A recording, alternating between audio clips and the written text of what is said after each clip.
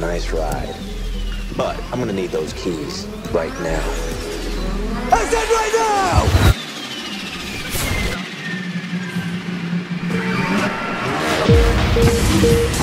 now!